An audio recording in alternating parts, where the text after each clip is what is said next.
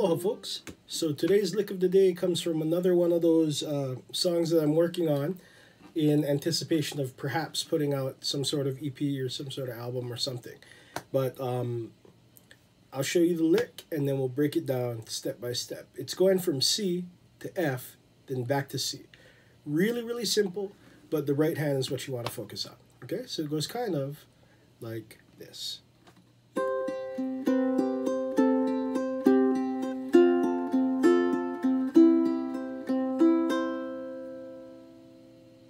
All right, so let's get in there and see how we did that. The lick starts here at the third fret of the first and second strings, and I'm holding them both down with my first finger.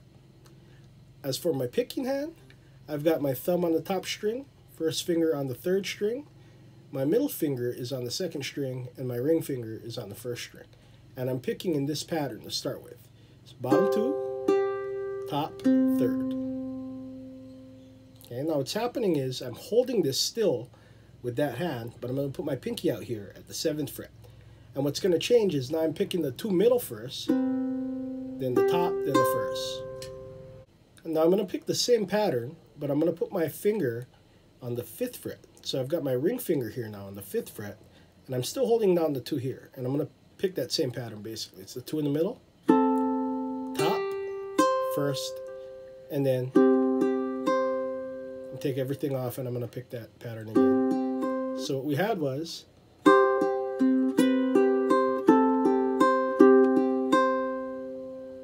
Okay, now we're going to the F chord. And what that is is finger number one, second string, first fret, finger number two, top string, second fret. And I'm holding it like this. And the picking hand does this. Two in the middle, top, third. Now I'm going to go with the two on the bottom top, third. And I go to a C chord, which is my third finger, bottom string. And then this is the pattern again.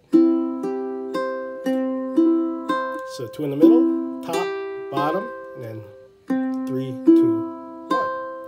So if I play it slowly all together, it sounds like this.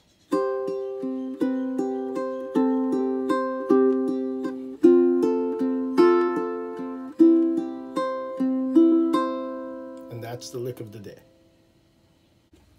All right, folks, so that does it for the lick of the day. Hopefully you liked it. It's something that can help you get from C to F and back to C.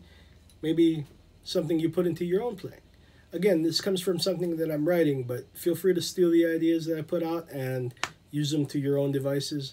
It works for me, whatever you do, long as you're learning and improving. And speaking of learning and improving, if you'd like to take lessons from me, I also teach on Skype as well as the website. So if you want to learn on Skype, I'm going to go ahead and put my email address below here. It's HMS Uke Lessons, U-K-E, lessons at gmail.com. And if you go ahead and email me there, I'll get right back to you and we'll find a time when we can work together. Now, if you're not subscribed to the channel, this button next to my head will get you subscribed.